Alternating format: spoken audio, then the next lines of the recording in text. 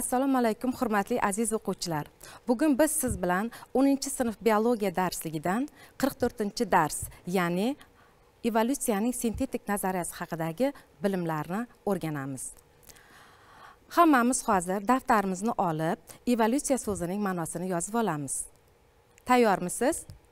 Evolyutsiya so'zi lotincha so'z bo'lib yoyilish tarqalish ma'nosini bildiradi. Yoki boshqacha qilib aytganda batartib rivojlanish yoki ketma ket rivojlanish degan ma'noni bildiradi.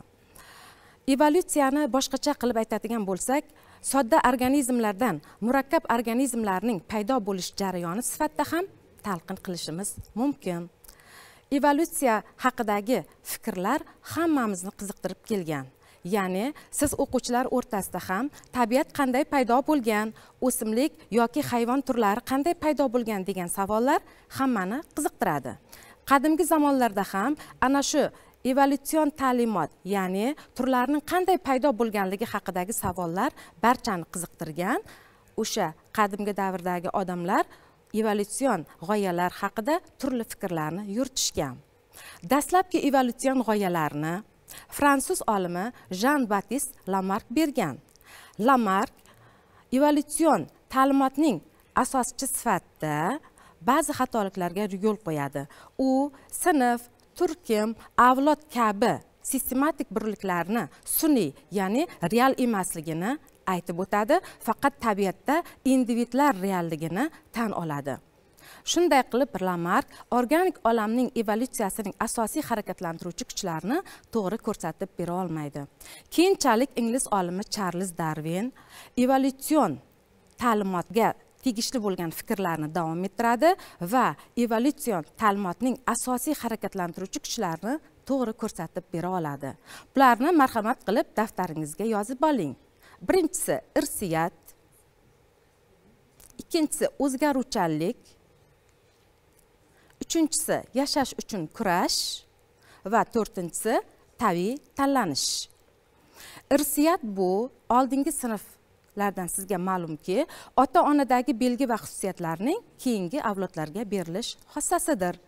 O'zgaruvchanlik esa ota onaga o'xshamaydigan yangi belgi xossalarning yuzaga kelishidir. Siz bilasizki yashash uchun kurashning ham uchta turi mavjud. Ular turlar aro tur ichidagi va organik olamning noqulay sharoitiga qarshi kurashdan iborat.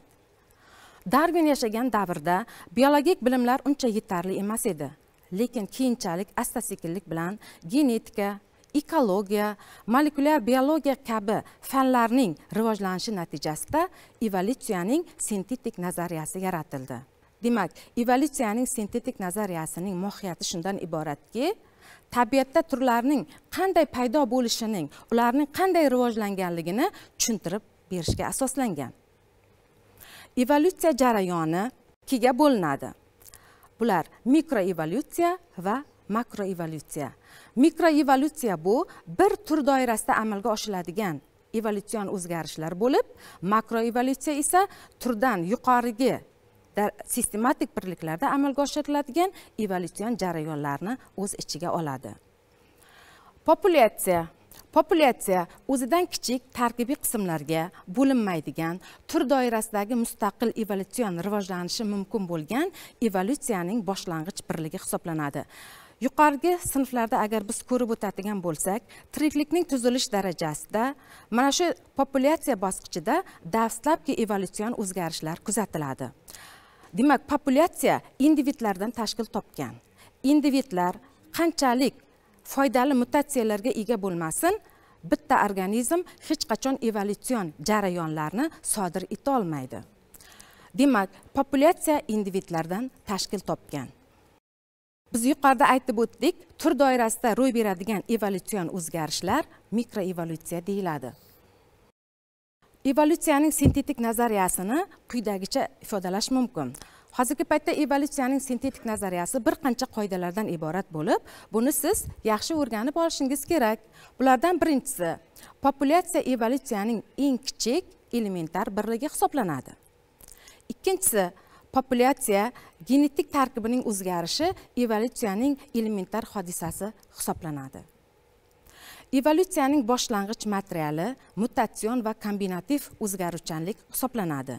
Mutatsiyalar gen xromosoma genom va sitoplazmatik kabi xillarga bo'linadi.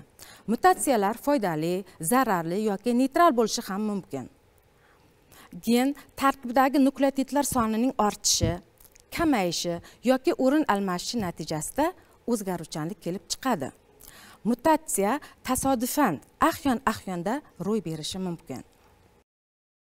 Evolyutsiyaning harakatlantiruvchi omillari. Bular populyatsiya to'lqini.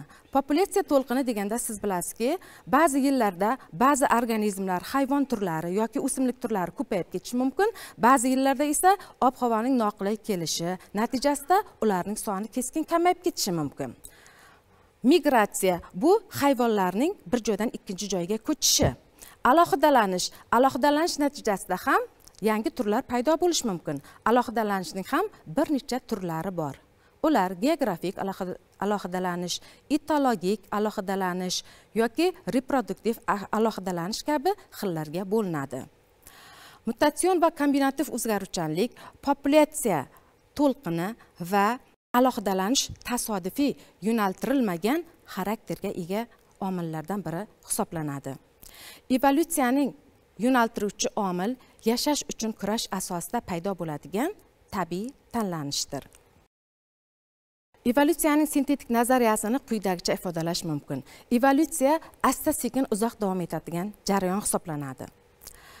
Tur o'zaro bog'langan morfologik fiziologik va genetik jihatdan farq qiladigan biroq reproduktiv jihatdan alohidalashmagan birliklar kenja turlar va populyatsiyalardan tarkib topgan bo'ladi. Allellar almashinuvi genlar oqimi tur ichidagina ro'y berishi mumkin. Evolyutsiya divergent xarakterga ega. Divergensiya so'zini biz quyi sinflardan bilamizki bu ajralish ma'nosini bildiradi. Ya'ni bir turdan bir necha turlar kelib chiqishi mumkin. Ba'zan esa yagona bitta turdan yana boshqa yagona bitta tur kelib chiqishi ham mumkin. Mikroevolyutsiya tur doirasida makroevolyutsiya esa turdan yuqorigi sistematik birlarda yuzaga keladigan evolyutsion jarayonlarni ifodalab beradi. Hurmatli aziz o'quvchilar hozir siz daftaringizga bugungi mavzu yuzasidan tayanch so'zlarni yozib oling. Birinchisi mikroevolyutsiya ikkinchisi genofond uchinchisi genlar dreyfi keyingisi populyatsiya to'lqini va alohidalanish ushbu yozib olgan tayanch so'zlaringizning ma'nosini daftaringizga yozib oling.